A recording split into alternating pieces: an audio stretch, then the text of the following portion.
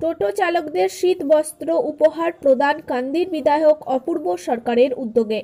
মুর্শিদাবাদ জেলার কান্দি বিধানসভা কেন্দ্রের বিধায়ক অপূর্ব সরকার রবিবার সকাল থেকে প্রায় চারশো জন টোটো চালকের হাতে শীত বস্ত্র উপহার তুলে দেন। এদিন কান্দি বিধানসভা কেন্দ্রের বিধায়ক অপূর্ব সরকার নিজের বাড়ি থেকে প্রায় কান্দি শহর তথা কান্দি মহকুমার চারশো জন টোটো চালকের হাতে শীত বস্ত্র উপহার হিসাবে তুলে দেন। কান্দি বিধানসভা কেন্দ্রের বিধায়ক অপূর্ব সরকার। কান্দি বিধানসভা কেন্দ্রের বিধায়ক অপূর্ব সরকারের এই উদ্যোগকে সাধুবাদ জানিয়েছেন এলাকার শুভ বুদ্ধি সম্পন্ন মানুষেরা।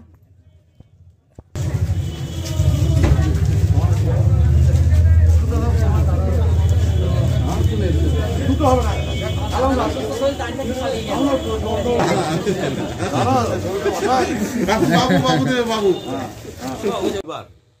আমরা তৃণমূল কংগ্রেসের পক্ষ থেকে, মমতা বন্দ্যোপাধ্যায়ের পক্ষ থেকে, আমি ব্যক্তিগতভাবে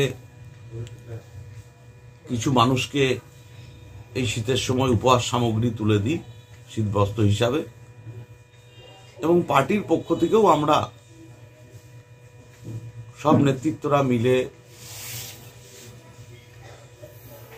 আমি থাকি চেয়ারম্যান থাকে ভাইস চেয়ারম্যান থাকে টাউন সভাপতি থাকে, ছাত্র যুব নেতৃত্ব থাকে, সবাইকেই নিয়ে আমরা পার্টির পক্ষ থেকেও আলাদাভাবে এই শহরের কিছু দুস্থ মানুষ তাদের পাশে দাঁড়ানোর চেষ্টা করি।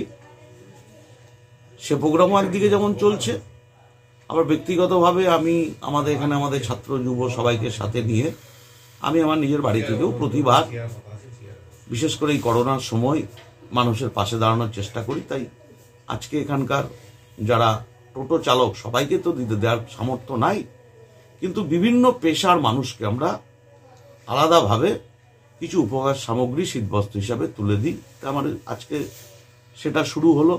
আমার ছাত্র যুব নেতৃত্বরা সব ছিল এখানে। তাদের উপস্থিতিতেই মমতা বন্দ্যোপাধ্যায়ের মানুষের সেবার ধর্মকে সামনে রেখেই এই কাজ আজ শুরু